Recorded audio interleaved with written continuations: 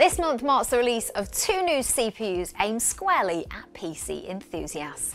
It's great to see AMD and Intel in true competition once again, although the two companies seem to be on very different technology tracks, with little in common in their latest CPUs besides both being x86 compatible.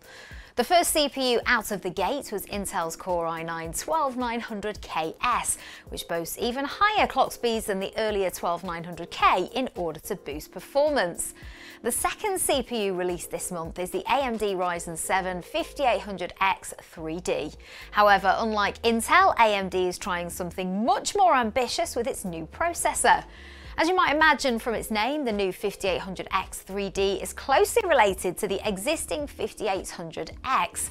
Where the new chip differs though is the addition of an extra 64 megabytes of level 3 cache, bringing the total up to a massive 96 megabytes. Cache memory plays an incredibly important role in CPU performance, as it's much, much faster than system memory and is used to temporarily store frequently used data. There is a downside, however, however, in that cache memory is expensive to produce and takes up a lot of space on the CPU die. So as much as we'd all like them to, CPU designers aren't at liberty to throw on hundreds of megabytes of cache memory. AMD's solution though with the 5800X 3D is to use a separate die to hold the additional cache, stacked on top of the CPU level die above where the existing level 3 cache is located and connected via a bi-directional ring bus. Given the fancy marketing name 3D V-Cache with the V standing for vertical, it's an ingenious way to add a ton of extra cache to a CPU without resorting to a monolithic die, with all the problems that would entail in terms of size, yields and ultimately cost.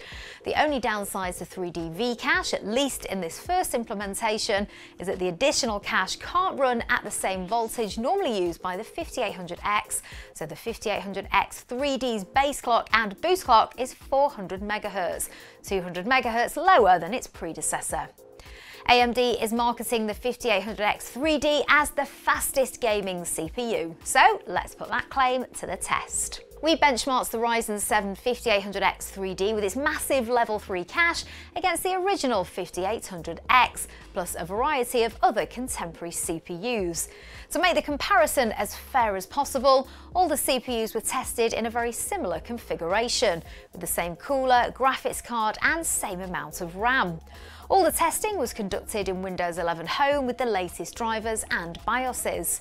One thing to note though before we dive into the test results is that we conducted all the game testing at 1440p.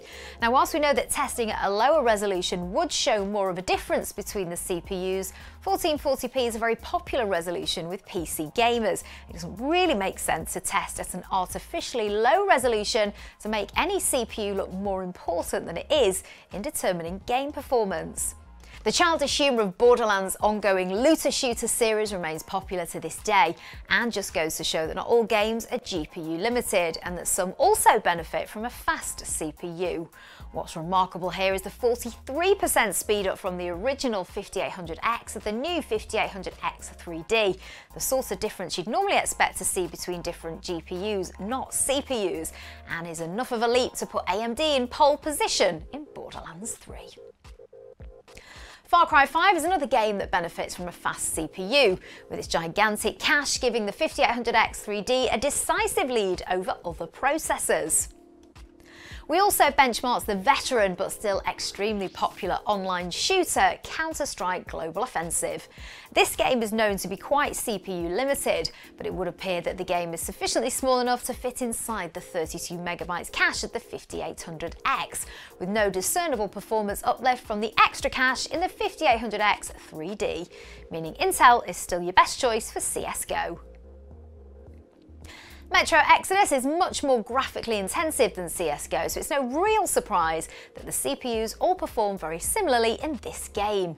The key takeaway from this graph being that if you have at least a Ryzen 5 or Core i5, for games such as Metro Exodus, you're better off spending your money on a more powerful graphics card than a more powerful CPU.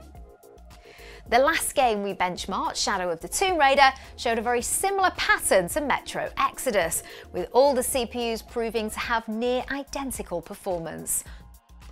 Although the Ryzen 7 5800X 3D is first and foremost marketed as a gaming CPU, we wanted to run some non-gaming applications on it to see what the trade-off is between the expanded cache and reduced clock speed. Cinebench R20 is based on the popular modelling, animation and rendering application Cinema 4D, and this test renders a complex scene on a single thread. Now, while she'd never deliberately choose to only render on a single thread, this is an interesting test as it reveals a single thread performance difference between the various CPU architectures. What's immediately apparent from this graph is that the 5800X 3D is indeed slightly slower than the 5800X at rendering, something to to bear in mind if you're planning to use your system for gaming and content creation. The next Cinebench test that we ran renders the same scene as the previous test, but now on all available threads, and once again showed that the 5800X 3D isn't as fast at 3D rendering as the standard 5800X. Renewed competition in the CPU market means that AMD and Intel are trying distinctly different techniques to boost performance. Rather than chasing clock speed as the way to increase performance, AMD has gone in a different direction to Intel with the 5800X 3D and opted to massively scale up the level 3 cache. The newly expanded 3D V cache provides breakthrough performance in two out of the five games that we tested, but in the other three games the results were less conclusive. You also need to be aware that the lower clock speed of the 5800X 3D makes it a less well-rounded CPU than the original 5800X. Sure, it's better for gaming, but not as fast as tasks such as 3D rendering, which is no bad thing, however. It just means that you need to be choosing the right CPU for what you're going to use your PC for. All the more so as the 5800X 3D costs a fair bit more than the 5800X. We'd love to know what you think of AMD's innovative new 3D V-Cache and the Ryzen 7 5800X 3D's incredible performance in some games. Leave us a comment below and tell us which CPU you'd pick and why. And of course, you can head over to our website to view the whole range of Ryzen CPUs, compatible motherboards, coolers and memory, and our brilliant new range of gaming PCs featuring the new processor built by our award-winning 3XS Systems team. Thank you.